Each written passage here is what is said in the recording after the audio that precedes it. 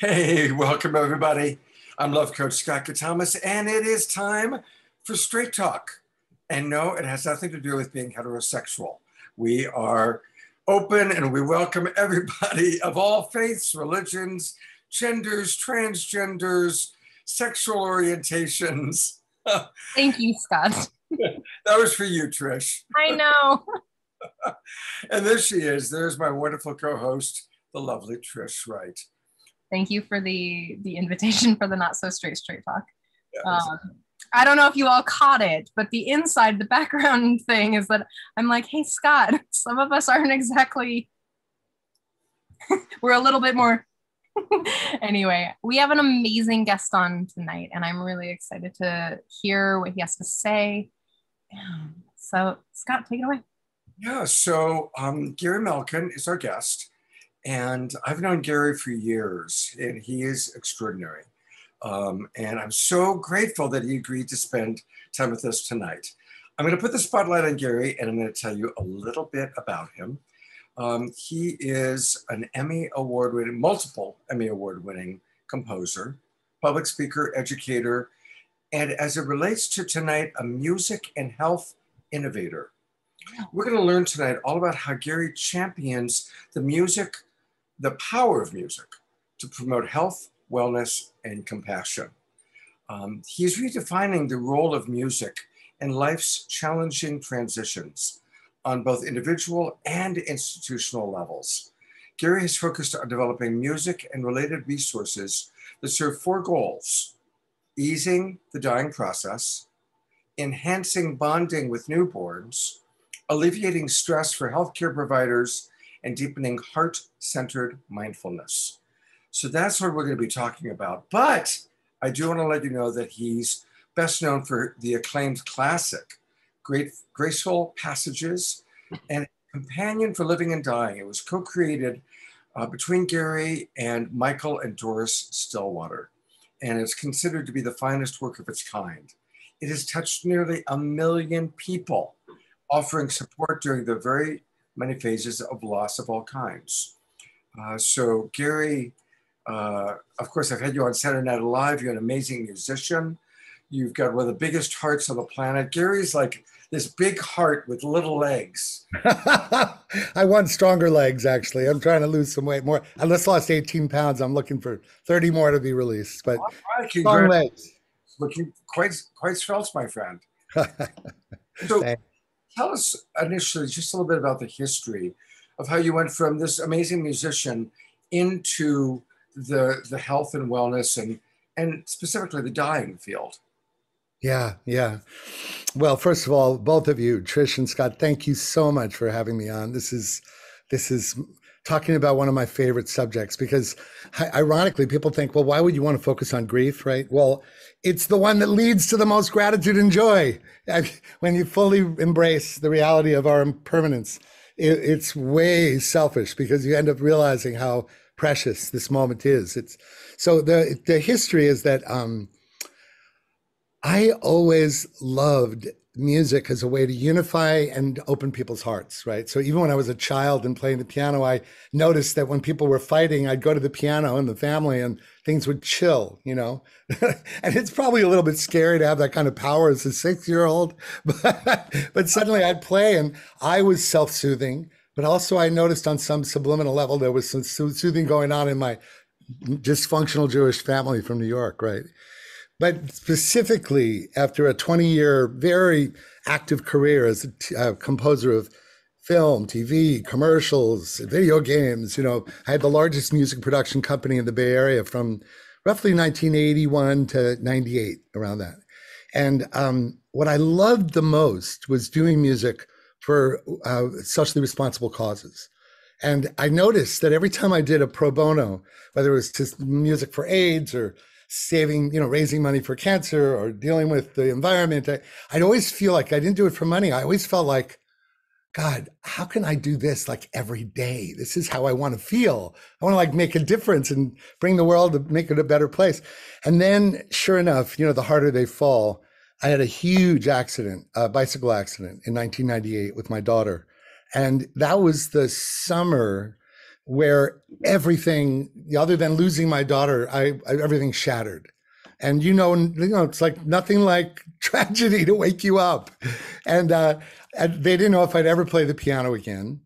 Um, and I had three ribs cracked and 18 fractures and 50 stitches. I was like, that was a mess. And um, my wife left the marriage a month later. I mean, like my 5,000 square foot home, was living alone. It's just, it was an insane experience. And it was, there was no question about it. It was a death. Uh, aside from dying, it was a true death in every way. And about a year later, when I was finally able to play again, during that year was when Michael came to me and asked me, if I would, Michael Stillwater came to me and asked me if he were helping people dying, he would love my music to be a part of it, which was a lovely thing for him to say. And I'll, I'll let that pause because that's a whole other story.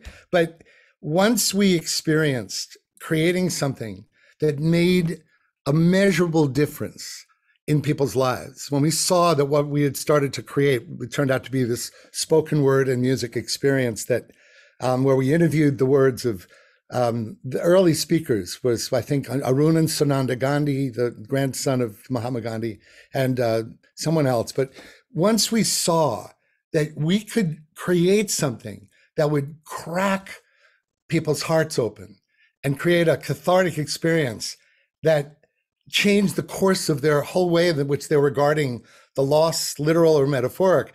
Once I got a taste of that, I mean, what could compete with making a difference in someone's life like that? I, I was a revelation. And of course, simultaneously, I was using the project to heal the broken heart of my marriage ending and my body and everything. So I went through the three years of writing graceful passages where if all I ever thought was if there was one person that would benefit from this and it was me, that it would be enough, you know? And that's why, why graceful, I think, I believe it has touched so many people. It was the tool through which I came to fully recognize that we are going to, each of us going to disappear one day and none of us ever knows when it's going to happen or how. And, and this is the last thing I'll end with is just a perfect way to open, which is 5,000 years ago, the Bhagavad Gita said, what, what is the most remarkable thing in all the world?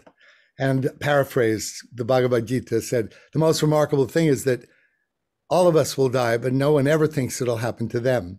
yeah. And when I suddenly realized this was a perennial human condition and that music might have a role in more than entertainment, what I would call, uh, but entertainment, but, but literally medicine that just doesn't relax us, but disarms us and cracks us open like Leonard Cohen ringing the bells that sting. You know, they're ringing the bells that still can ring. There is a crack in everything. There, there, you know, that's how the light gets in, right? That's what happened to me. I, my, my heart cracked open and I decided that my role was to use music as a Trojan horse to wake people up from the inside out. Wow. Um, that's a long answer. Sorry. It was pretty. Oh, no. Listen, tonight's Gary Malkin night. Okay. I won't say sorry ever again. Yeah, no, sorry. Um, uh, just we, we want to hear all about it. Great. You know, stories are always so powerful, and you're a beautiful storyteller. And you've also scored, you know, so you understand the power of story. Do you have like a particular one specific story you'd love to share of how your music or maybe what you created with the Stillwaters impacted a life or lives. Oh, oh, with the Stillwaters. Okay, well, I wrote all that music, but in one of the great acts of surrender, Michael thought it was going to be all his songs, and we organically came up with this idea because you've probably been at Michael's events. He is a very prayerful, multi-denominational, uh, revolutionary minister in his own way, right? And so he said, Michael, go in the studio and imagine talking to somebody who just received a terminal diagnosis. And then you know i would go on the keyboard and orchestrally score spontaneously as if it were a film score this heartwarming thing. And that's when we looked at each other and we went has anyone ever done that before? Like use the art of film scoring to unlock the capacity for us to be on the edge of our seats feeling the emotional and spiritual intent of a wisdom keeper? well, nobody's ever done it because who would ever make money from it, right? but we but we did that and I remembered when it was done with just one improvisation, we had chills, both of us, and we realized, holy shit. And that's when we started recording people. So there is, I thought you were going to ask me about a story that impacted me when I decided I had to like write music for for film and stuff. And there was a equally powerful story there that just I don't have to go there, but just want to reference it that it was early in my career. I saw my music uplift people's hope in an anti-nuclear film. And I was in the back of Alice Tully Hall, the opening of New York of the New York Film Festival, and I almost literally saw like the equivalent of the angel of death lifting and people breathing more deeply all because of the oboe that part that with the orchestra that I'd written at 30 years old. And and that moment was like, holy, this is so much more than writing music. This is about impacting the emotional and spiritual field in a way that impacts people's lives and makes a difference in their the way they perceive things. It was like, what could be more exciting and per, and, and powerful, right?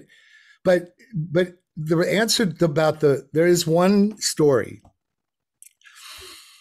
To this day i get a little teary about it because i i it was graceful passages had been out about a, a year we were getting thousands of calls grassroots people passing this thing on growing grassroots like crazy. And this one call i got from a friend of mine from new york who had a family that were wealthy and there were four boys in the family and they were all feuding about money. And so the mother came down with a terminal illness. And the fight was so severe that not one of the brothers would be in the hospital room with the father and the mother without with the other. They had to like go through all that effort because it was they hadn't talked in a number of years and it was just, you know, it was completely intractable. And my friend gave a copy of Graceful and played a track for the youngest one that was his friend. And the young 25, 30 year old boy just started to sob, recognizing this was the moment that his mother was maybe had a week or two. And he called the one brother that had a, he had a crack open of possible receptivity and said, "Look, all I want to do is play you one thing for six minutes, and you can go right away. You don't have to talk to me." And he did it. And in the next 24 hours, each of the brothers played the opening track of Graceful Passages to, to the one that they had an opening with. And within 24 hours to 36 hours, all the men, 24 to 30, 20, what is it, like 30 to 45 or something, they all gathered. And for the next two weeks, they said goodbye to their mother properly. And I got the call from the father sobbing, saying, Do you have any idea what you have given to us? You know, you've given us our family back. And it was one of those moments where I just, there were, I have thousands of, we have thousands of those stories of people that allowed their fear, their denial, their avoidance, their discomfort, their shadowy, no, don't go, no, don't admit you're going, all that stuff that gets all murky. And the music just like literally like a knife, it just went, it just chilled everyone else into the innate knowing that we have when we're born. But it's another form of birth. It's a death, it's a birth death it's a death birth. It's the cycle. It's the cycle of transition. So that's one of the stories that I am privileged to share. And I'm so grateful to be able to share it within this context, Scott. It's really the first time I've told the story in a long time. You know, we, we haven't prepared for this at all. For I know, I know, I noticed. I, I knew that there must be amazing stories, you know, and and I would love to hear more throughout the time that we're together tonight you know, um, it reminded me of a story actually. Um, and tonight you were focusing on grief and mourning, but I, I want to say that I think your music plays such an important role, Gary, because it music is the universal language. And music such as yours helps us to open our hearts and tap into a non-denominational spiritual experience. Exactly. Right. Or shall we say omni-denominational. yeah, that's even better. Thank you. An omni-denominational spiritual experience. Absolutely. And it, in talking about grief, one of the things I made a note I really wanted to talk about is, and I'd love to hear what you and Trish have to say about this. Yeah, I'd love that. But a lot of people come to me because their husband's been diagnosed with terminal cancer or whatever it is. And I've I've worked with hundreds of people now that are dealing with really, really hard stuff. And I have to say, the ones that have a spiritual practice, it's so they're able to make their way through the challenge with much greater grace and ease. Right. And I'm certainly not promoting any specific spiritual practice. And a spiritual practice may or may not have anything to do with a religion. It right. might, right. So it might be yoga. It might be nature. It might be playing a musical instrument, right? There's a lot of different forms of spiritual practice. Right. But I just really wanted to make that point, and I'm curious if you or Trish have any thoughts about the importance of spiritual practice to make our way through these challenging times. Trish? I have a, a couple thoughts, not specifically on that, but I can speak to that too. What I understand grief to be is love unexpressed. That's exactly right. The well of desire to to express one's love, to to feel the connection is is the place where you know like is that that's the place where we're we feel the emptiness of grief and in our society grief is actually we don't honor it uh, mm-hmm. in in the way that a lot of other places do honor it you know grief is a, a beautiful period of mourning. Um so spiritual practice i i'm often a little like you know wanting to not define spirituality as religion but a, a, something like a connection to self or connection to the feeling of oneness as spiritualness or spirituality and and that's the exact thing that i got from my friend who passed. Um, she had cancer. She her friends invited me down and i got there the day that she like i got to hang out with her that day. And we laughed so hard. Um, i laid in bed with her for about six hours and we joked. And she was really lucid. She was really there um, she was like oh this is annoying can't we get some hot young men to come in here and serve us? I was like, oh yeah, hottie hospice lady. Like, you know, that's like the whole thing. We had this great time and she was so there and when my my partner at the time came in um, later on like she she started to go really downhill very quickly in the day and she she was really scared and she's like you know trish i'm really scared.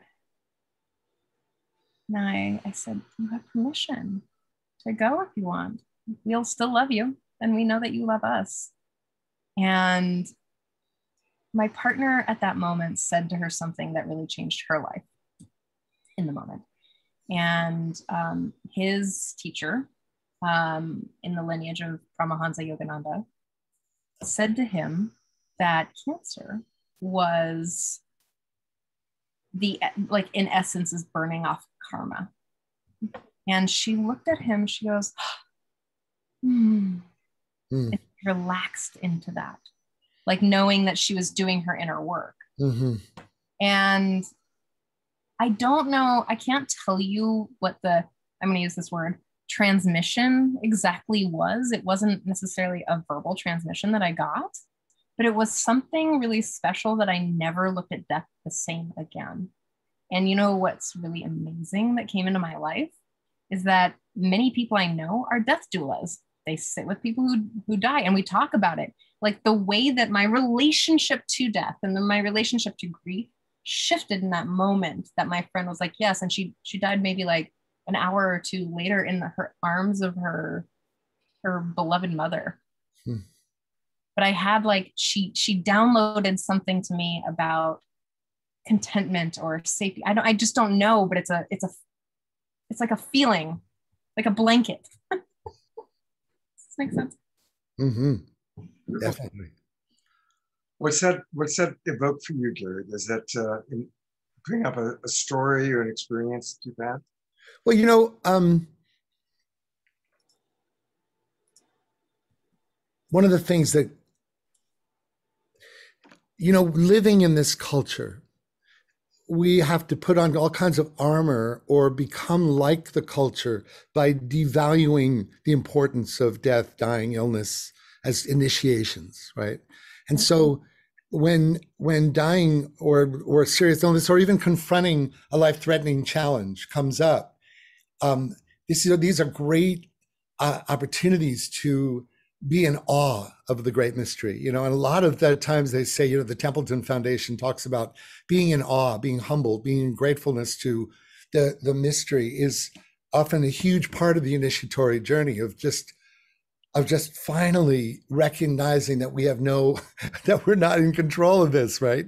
So that's one of the things that um, i want to actually play if i could either the video or the audio of, of one of the tracks from graceful because it would give us a chance to let the field be influenced in the way that we're talking about that could actually embody it. Don't, we don't have to play the whole thing. I can play part of it if you want. Yeah. So, um, do you have it embedded in your computer? I, I, yeah, I have it. I can play it as a part of my power, the PowerPoint that I have, which I just have to share the. I just have to share the screen. You have screen sharing privileges. All right. Thank you. Great. Fantastic. Well, so this is this the idea of allowing ourselves to there are places where we you know we can never see ourselves right? So there are places where we encounter places that we didn't know we didn't know that we were going to die. And so or that we didn't know that we were carrying loss that we hadn't expressed or released so, in order to get the full cleansing effect of what you're about to look at or listen to, let yourself just surrender to whatever experience your emotions are having. And for those of you who prefer not to look at anything, just to feel it all, then just listen. But here it is. It's called the opening track of Graceful. And it really is great to like, what if this were on the eve of a of a terminal diagnosis that you or someone you love received. And by the way, should I play the whole thing? It's about five and a half minutes? Can I do that, or do you want me to fade it out in the middle somewhere? I think five and a half minutes is great, and I just invite everybody, especially most people that watch this show, watch the recording, watch the replay. So I recognize many of you might be multitasking and listening while you work. Turn off whatever else you're doing, and let's really drop into this beautiful experience. Let's all have an experience together. Yeah, good. So this is Lou Epstein. We asked him if you were going to die tomorrow, what would you say to the person you most love? Um, and here.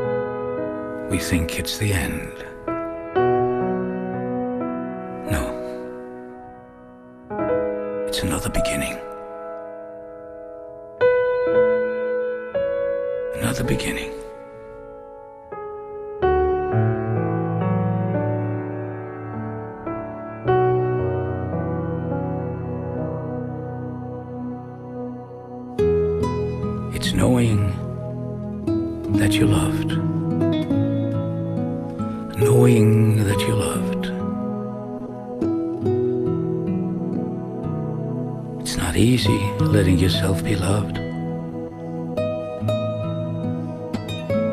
Of course, we've learned to judge ourselves. And we're always judging ourselves.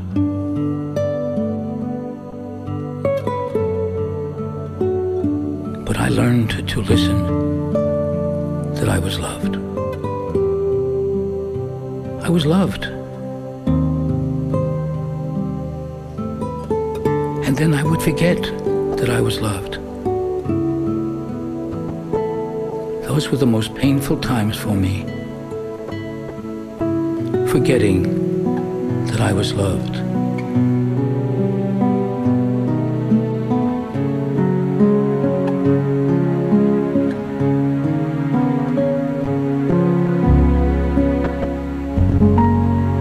So you've let yourself be loved while you've been here? And you've judged yourself? And you've forgotten that you were loved?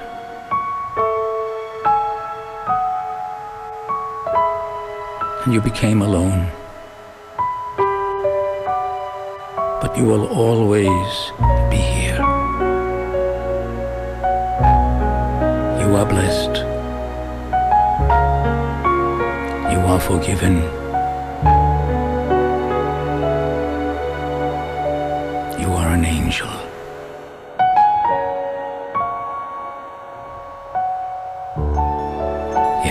Listen that you're loved.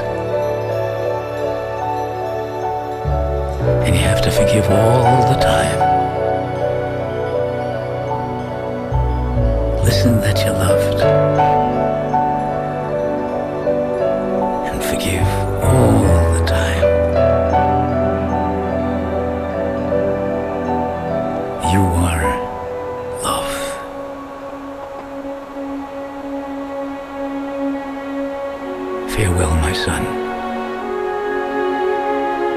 Farewell, my daughter. Farewell, my father. Farewell, my mother. Farewell, my sister. Farewell, my brother. Thank you for letting me love you.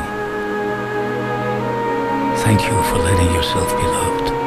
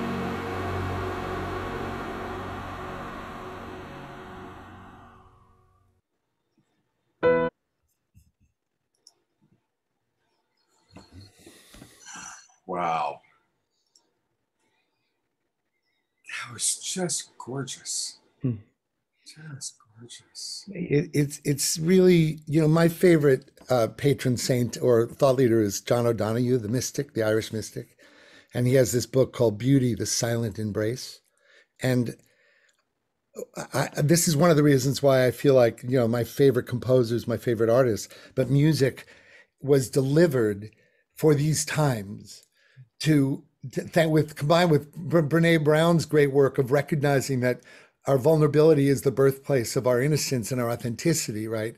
Well, so right on the eve of finding out that it takes bravery to be vulnerable, bravery to crack open, bravery to be human and wholehearted, we still live in a culture where it's it's harder than bravery even because it's so much ridicule and so much meanness and cruelty and divisiveness and you know so to learn how to let music be uh, these entrainment wheels into being uh, comfortable with being tender with ourselves and each other tenderness is so closely associated with beauty and when we get cracked open it's not maudlin or cliched or sentimental it's genuine moved right that's what we our objective was with graceful passages How can we create a new innocence with our tenderness?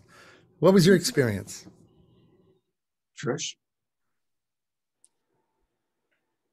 Oh, um, I felt really like tight before, Mm, Wow. which is a very common experience for me, right, Scott? Uh huh. and I feel a lot more dropped in, connected, Mm. present, mellow. Feel yeah, connected. It's beautiful. How about you, Scott? It definitely sent me into melancholy. Um, and I really started imagining my death. Hmm. Kind of, I kind of turned the voice over narrator into like great spirit talking to me. Right, right. That's kind of the way I played it. And and I and I've done a couple times I've done processes of imagining my death. And always what comes up for me is incredible appreciation for what a phenomenally wonderful life I've had. Right. And I really am gonna miss my body. I love my body's getting older and achy and I just love this body so much. It's been so good to me for so long. I'm not ready to let it go. So honestly, that's what came up for me. It was beautiful. Yeah, it's funny. You know, the thing though that well, I've been speaking to audiences now around the world around where I'll I'll be that experience, Trish, where people are kind of, you know, the way you are when you first meet them. There's just an energy, right? And then when I let the cat out of the bag in my keynotes and I play this track for a thousand doctors and nurses or whatever it is, and the energy in the room is so different afterwards just what it's an unmistakable what happens to humans when they all recognize like almost suddenly nobody has clothes on we're like wait I mean you mean like you know you're going to disappear one day too? And like oh you too? Oh, oh shit. It's and and that line that he said that i love so much he said but you will always be here.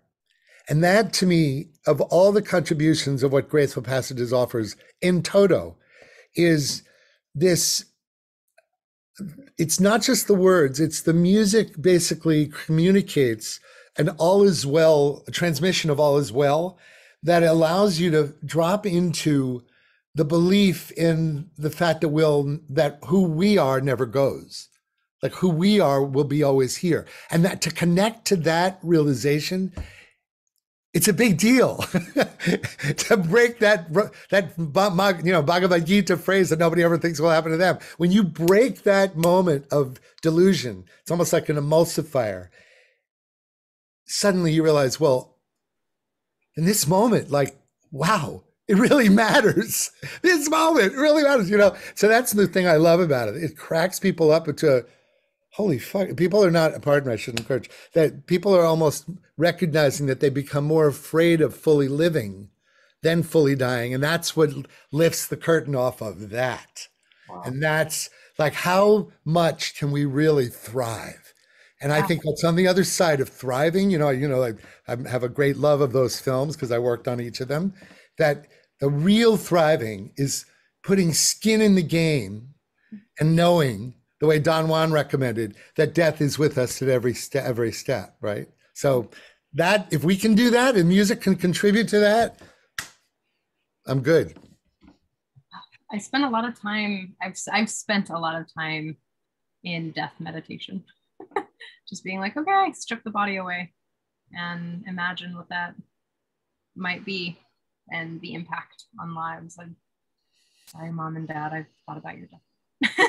yeah yeah all of you um but you know also just i feel like we all of us need to know that demonstrating equanimity equanimity compassion acceptance maturity to our peers our loved ones and our children and our grandchildren as we're in this i'm, I'm a lot older than you but for me to cultivate the capacity to demonstrate dignity around the recognition of my impermanence is one of my job descriptions as a human being. That's beautiful.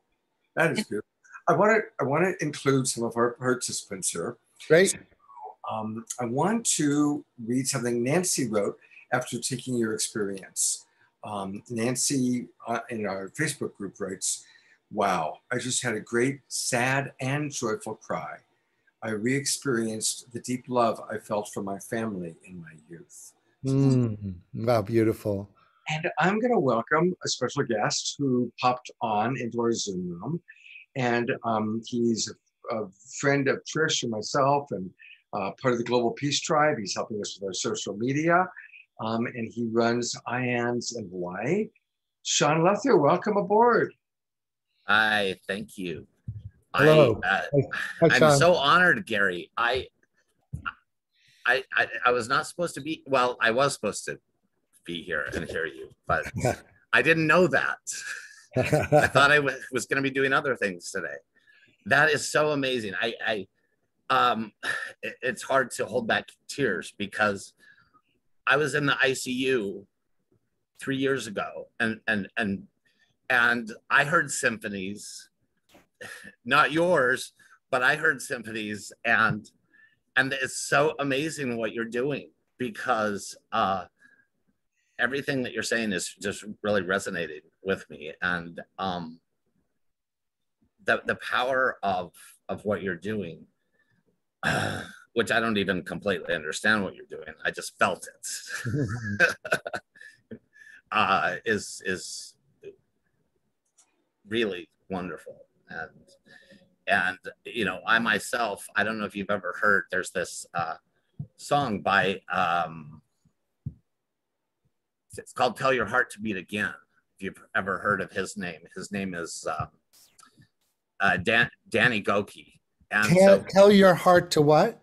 To beat again. I'll stick it in the chat room. Tell your heart to beat again. Okay. Yeah. So when I was in the ICU, it was really, really faint the very first time I heard this song.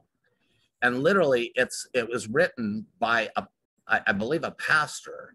Though it was written for somebody who had had heart transplant surgery, Wow. and and the heart didn't start, Wow. um, or maybe it was the doctor. Anyway, but literally, they're literally telling this person start your heart again. And so i had that kind of experience in that i was done. My life was over. Hmm. and but but for whatever reason i i got a, a well I'm, I'm starting to, to understand the reason but i i i got a second chance. But i had to have the message from this. And literally when you hear this song you, you'll understand so this song it, it started getting louder and louder. But what happened is this song started following me through the process of the ICU, Wow. later throughout the hospital, later through as I was going from Straub here in Honolulu to then what's called the Rehab of the Pacific because it was a, a several month ordeal. Um, it was as if this song was literally sent, which I know it was, and I know who it was sent by, reminding me yesterday's i don't live there anymore when you hear the song you it's so what you're doing is so amazing mm-hmm. because people can are moved by that and Yeah. and i know myself it it it helped me a lot tremendously Yeah. Yeah. No, well, listen, there's, we're living in a quantification renaissance of music being a major, major medicine of heart and soul like never before. And that's why I started gravitating to other, what, what, what would it be like if we use music for the bonding process in before and after birth? And what would it be like if we use the bond, the heart opening process for mindfulness rather than think that it's all about just watching thoughts? And what would it be for heart-centered leadership when we've dealt with more or less hierarchical power over? You know so it's all about the reason i love uh, teresa and all that it's all about how would we act and what would we say and what we do if love did it and we act we disguise ourselves so scott sean thank you for those very sweet and warm comments and thank you for acknowledging the importance and yeah yeah it's uh i would love if you want to present at, at any of our groups by the way your music I, I, it would be such an honor I don't know. You'll be sure to let me know more about what that would mean. Yes. I'd love to know more about it. Thank you, Sean, for joining us. Uh, it's beautiful to have your, to feel your love and to feel your experience and to kind of make it real. Um, so, talking about grief for a moment. Yeah, yeah, very important right now, more than ever, actually. Yeah, Yeah, and it's one of the things that that comes to mind is Gay and Katie Hendricks, who've been on my show a few times, have a quote. They say the most horrible thing that people say in our culture is get over it. Get over it. And we are in a culture that doesn't support mourning, that doesn't support grieving, that supports move on, get on with it. And it's so important for us to take the time to grieve. And I, I I'm just going to share briefly of, you know, most everybody by now knows I had a wife who was the love of my life who died almost 10 years ago now. It'll be 10 years in the end of November. And I miss her still terribly. But there also was nothing tragic about her death. It was actually, even though she was young, 52, she, there was an incredible liberation that we all experienced when we were in the room with her as she passed. And the reason I bring this up is because we can grieve and mourn without it being tragic, without it being an albatross around our neck, like there's something wrong with life. There's something wrong with this existence that someone died. And I and I, I want to hear what Gary has to say about that. And, and Trish, if you want to weigh in, that balance of how we can grieve and mourn and still celebrate life, still celebrate the life of the person that's gone.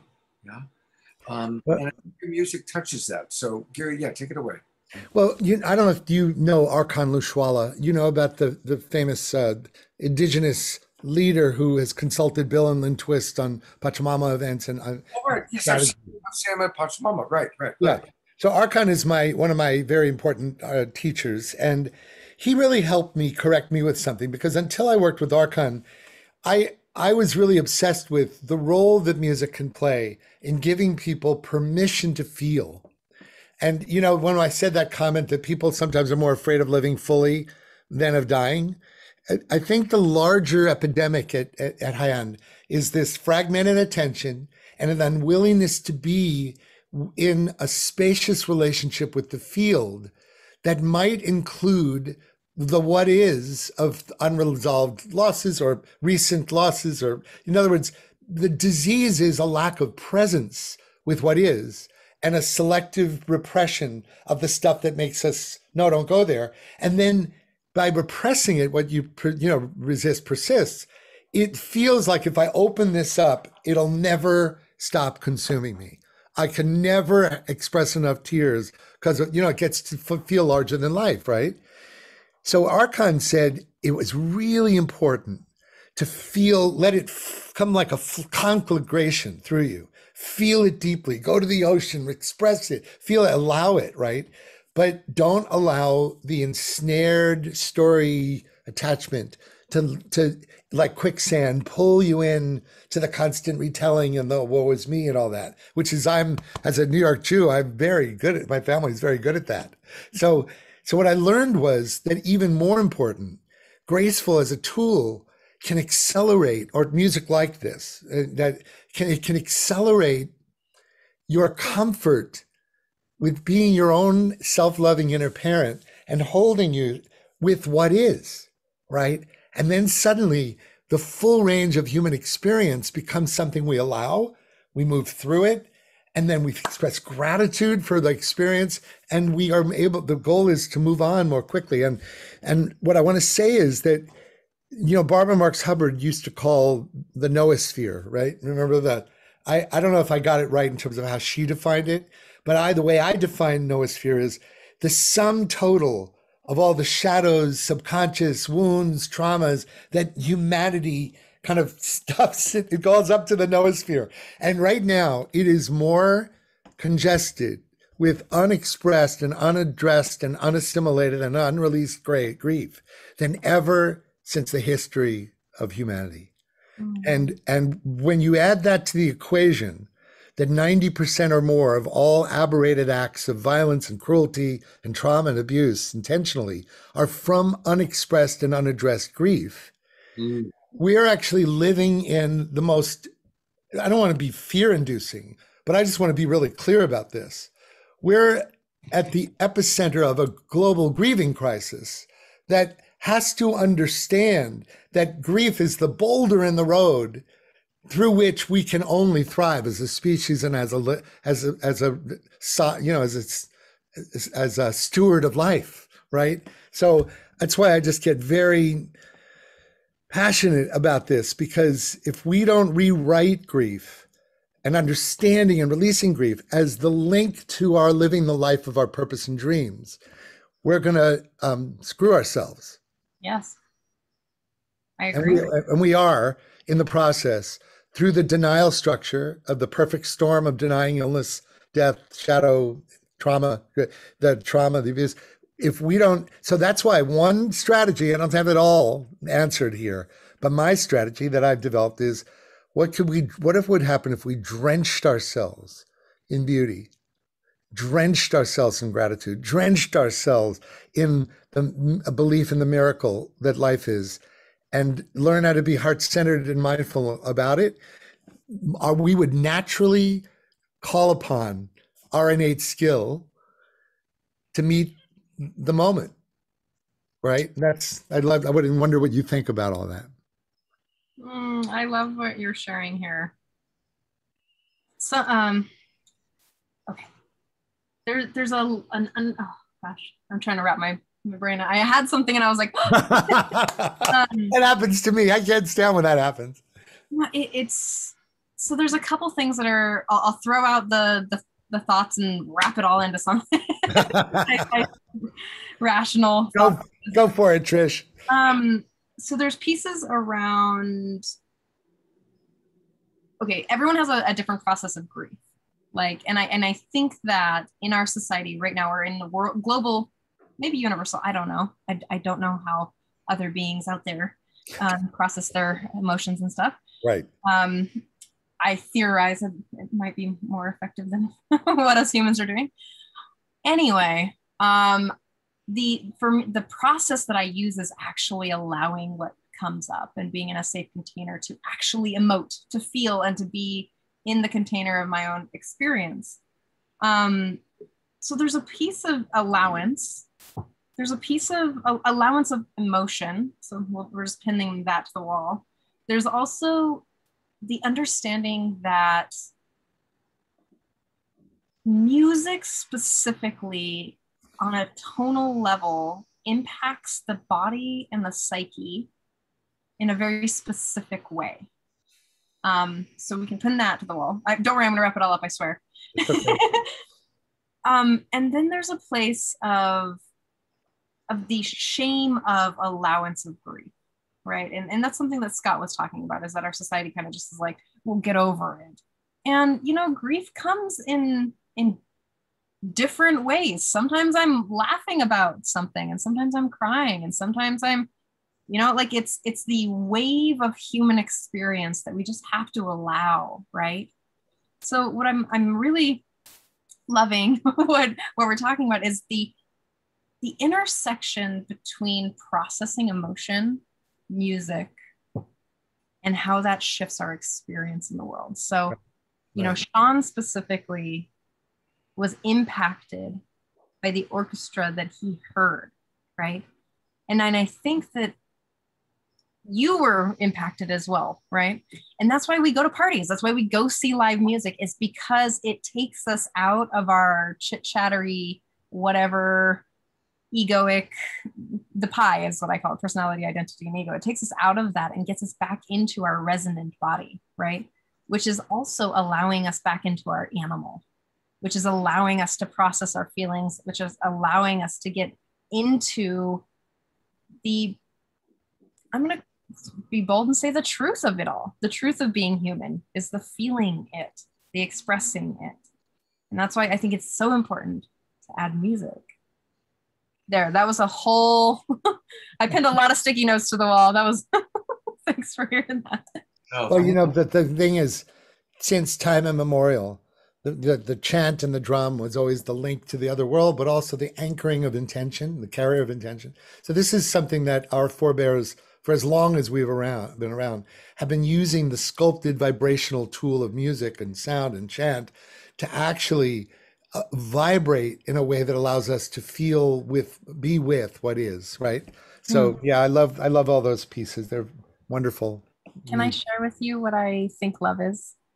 So love which was fed to me was very disney channel-ish is this like longing heartfelt right off into the sunset sort of stuff. And then i thought that love was codependency and this like severe attachment to something and that you bend and and contort to meet the people that you you know sacrifice love was sacrifice and by you know over the course of the last few years and taking scott's you know mentorship group and relationship essentials has really helped me understand that love is the radical acceptance of what is yes in the moment it Beautiful. is and so as I now look at love and loving someone, it, it's just expanding, right? So my capacity to be with someone's grief because I love them. Like I know what I know what anger feels like. Let's let's go let's go break glass somewhere in a container space. Let's go cry and scream and oh, do you want to pound on the bed right now and like scream into it? I can love you there. Let's do it. You know? And so like being with someone in their grief like having music to be in your grief like it's these these places where we need to feel connection yeah we, because that's where we we find most pain i think is the yeah. the perceived disconnect right scott yeah so. you know i'm loving this conversation and thank you sean for being with us and we'll, sean has a whole playlist from the other side mentioned in his chat box a couple things you know when you were talking about how grief comes in waves. Uh, I was very close to my father. My father was my best friend. And uh, he died when I was very young. He died when I was 22. And I was blessed. I was the only one there with him as he died. And he came to me in dreams. So, yeah, it was good. But as it played out, I never cried um, when he died. And um, three years went by. And one of the things that my dad and I shared was Dodger baseball. We would go to Dodger baseball games. And we went to, you know, we'd go to a lot of games, probably eight, 10 a year. And when he died, I just stopped going. Mm. Um, and uh, it had been three years since he died. And my best friend, Richard, uh, said, Come on, man, I got tickets for the game. Let's go. So I said, Sure. So we get in the car. And the moment we came up Chavez Ravine and I saw the stadium, I lost it. Yeah, of course you did.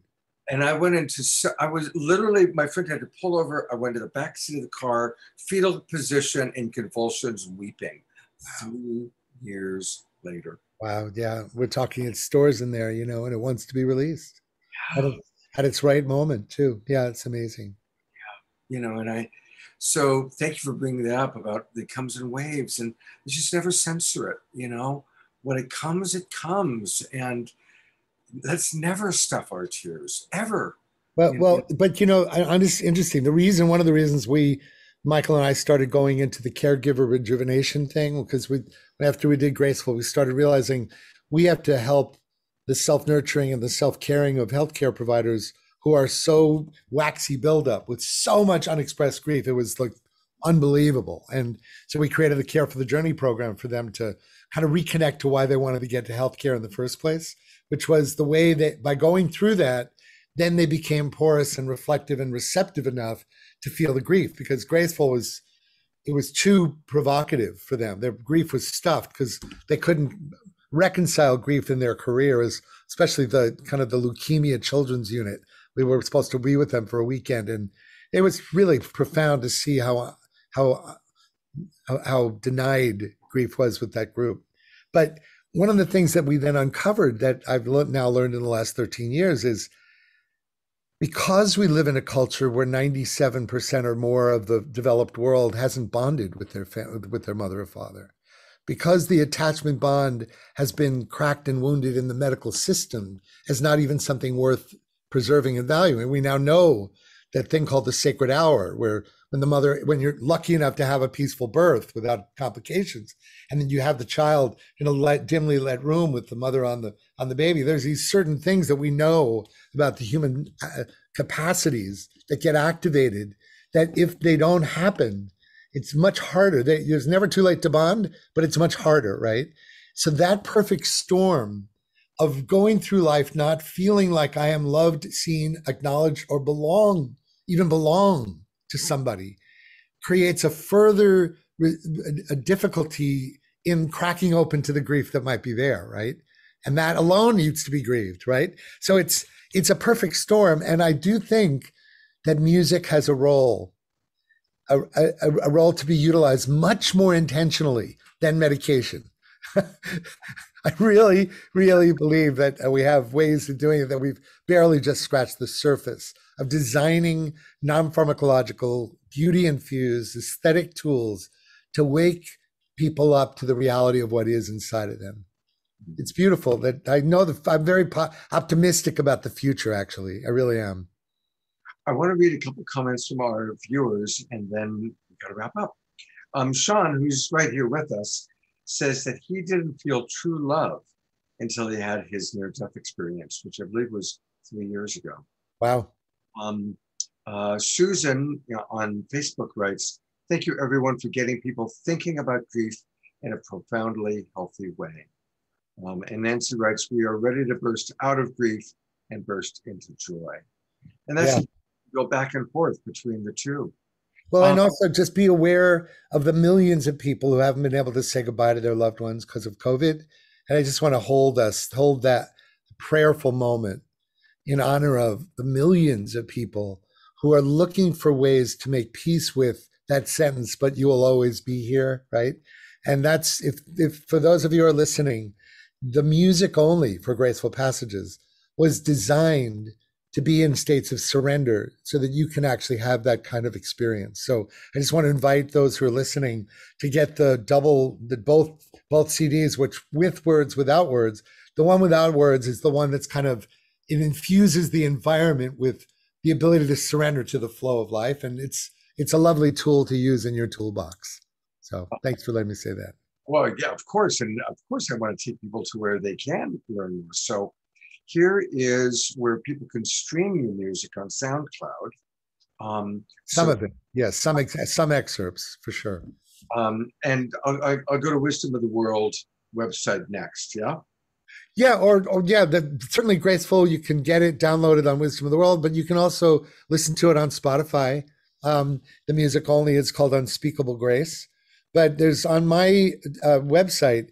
There's a lot of music that I've been doing around creating heart centered mindfulness that will drop you into that state where the, you know, where the, your mitochondria align to the field kind of thing, the way Foster and gregg Braden would say. So the music, a lot of the music that's that's on my website is around being in states of being connected to what is that will help you in that way. So that that's at wisdomoftheworld.com. And hey man, I so appreciate oh, slow down, Gary. Let me oh, sorry. Sorry. I love you, but slow down we're wrapping up, but I want to take people to Wisdom of the World Wellness because thank, is, thank you. This is Gary's website, and it's beautiful. So go to wisdomoftheworld.com. Wisdomoftheworld.com. slow down. I love that. You gotta slow down. This is the most important part. This is how people, you know, you've given them a homeopathic dose. Now people want more. Well, all right. As long as we're shamelessly self promoting, if you sign up for this uh, website, which is going to, I'm hoping to do a core, uh, probably a monthly monthly newsletter. There are incredible gifts that go with an autoresponder series that literally with each letter you get your free MP3, these links, and so there's all kinds of gifts that come. And uh, and also I will give you guys if you want a, a special code to a gift box, you know, a gift, a kind of a bonus gift package if you'd like. Yeah. I'd be, happy, I'd be happy to send that to you, and people who are listening can experience some of the extra tracks as well. All right, so pop that in if you if you have it, and you can put it in the chat box now. Yeah, here in Zoom, that would be good for our Zoom friends. And then I'll copy it and I'll put it on our Facebook pages. And I'll go back. You know, I want to acknowledge that most of you who are watching this are going to be watching the video replay. So I will come back and I'll take a look. Um, one more while he's doing that, I just want to take a look again Look at all the amazing people that Gary's worked with, almost all of whom I might say have been on Saturday Night Live. um, but just beautiful, beautiful souls. And these are the great leaders, the great wisdom teachers of our time that Gary has collaborated with and worked with in different ways. So, you know, Gary, thank you so much for who you are. Trish, I'm putting the spotlight on you for a moment. What are your final thoughts from tonight? Mm. My final thoughts are just really deep gratitude for Sean and, and Gary. Thank you for your sharing. And Gary, thank you for your work in the world. Um, I, I mean, I we're all here doing our work in the world right now, and I, I really appreciate you you both being really honest and Scott always for being your your just deepest, truest, raw, vulnerable self. Um, mm-hmm. I'm really touched by tonight's conversation and the importance it is to allow yourself and others to grieve. And finding the strategies and the people and the love and you know the people who have support for you that that can really hold you there. I get i feel like there's at least one person in this room. Well i mean i don't know where you are in the on the screen. I think it's right here. Um specifically that could really help you move through your grief thank you Gary. you know and it, what one more thing is don't forget that one of the great catalysts for grief resolution is movement and joy and celebration, right? So sometimes even faking it till you make it. Like my inner my work with the movement of the open floor and the five rhythms, it's essential to the somatizing inclusion and engagement of moving the energy, and then it's a wonderful thing. So sometimes joy is what we deny often, right? So let's not. forget. I love that you said open floor. Open floor is one of my favorite practices. It's it my, it's my family, my family for 40, 30, 40 years. So yeah, I love them. Well, I'll go emote dance with you sometime. Anytime. I love it. I love it. Sean, any last thoughts you'd like to share? I just want to thank you all. And Gary, um, you are doing, I just want you, you have to know you are so supported. I'm sure you know. Uh, you are so supported. That's the only reason I came here today. Like literally, uh, I was guided, and several people are. Uh, you're doing God's work, really. Hmm. You all are. You all are. But this music, um, what I sensed, because I, I think I heard it like right away. And I I really tuned into the energy of it. It's it's so powerful. And I can I can I can only say that because of the power that music had for me. Great. Thank you. Thank you all. Thank you for your receptivity and taking it all in. That's gorgeous. Yes, and please come share with our IANDS groups. I'll, I'll give you the information. Okay, I got your information. That's great. Cool. Gary, thank you for being with us. Um, thank you for your gifts to this world. Sean, good to see you, buddy. I'll talk to you soon. I have to say, I have to say, Scott, you are a amazing force, brother. I'm so proud of what you've done to step up to the plate for all of us, and I'm just really just kudos to the incredible service that you've entered into for all of us. I'm so we're all the better for it. I'm sorry I interrupted, but I just had to let you know you're just doing some beautiful, beautiful work for all of us. Thank you. Thank you, thank you, thank you. Yes, and- they are, and that's why I just got to add that in real quick because Scott knows it, but I'll add it publicly. I don't volunteer all my time for just anybody. I these the real deal. Well, thank, thank you. Thank you, Sean. Thank you. Well, that's a good segue into the final thing just to mention is tomorrow night on Saturday Night Alive for the Global Peace Tribe, we have an amazing show. Bruce Lipton, Sister Jenna, Oscar Miro Quesada, Elizabeth Sahtouris, and many, many others. Wow. Um, and my co-host is Kristen Hoffman. Uh, Deborah is on vacation, and so we're going to have um, co-hosts most of the month, or actually most of the summer. And Kristen Hoffman is my co host tomorrow night. And she's invited all of her friends to be on the show. And the topic is great The Great Awakening, balancing personal freedom and collective vision. So please join us tomorrow night. Um, and come early in the Zoom room show uh, from 5.30 to 6. It's going to be Bruce Lipton and Elizabeth Sahtouris, and they have a very dynamic conversation that they're going to have. So come early, 5.30 Pacific time. Um, and we've got amazing shows coming up on July 10th. We've got another um, Mark Sims, Danny Sheehan, and a lot of people in that world. On July 17th, an amazing show that Trish has put together, um, all about racial and social justice. Um, July 24th, more wholehearted addiction and recovery work, and so it goes. So join us every week for Straight Talk um, and for my Sacred Sunday show, and of course, the Saturday Night Live, the Global Peace Tribe.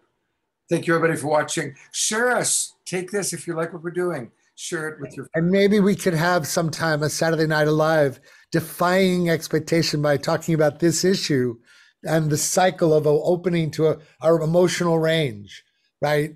Including grief and loss and joy and fullness. So think about it. Might be not something to do someday. Absolutely. Absolutely. yes. I'm a yes. I'm a yes. Okay, great, great. All right. Thank you, everybody. God's bless. Aloha. Have a beautiful weekend. See you tomorrow night. Saturday. Thank you. Thank you guys. tomorrow.